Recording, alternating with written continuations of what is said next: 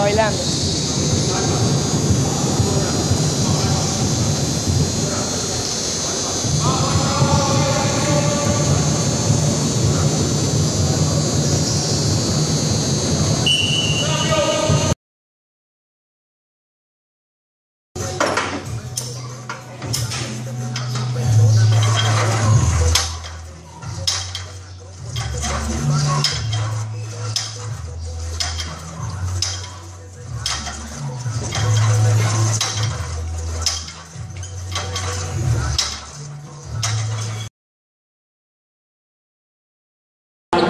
las 8 de la noche, mañana miércoles.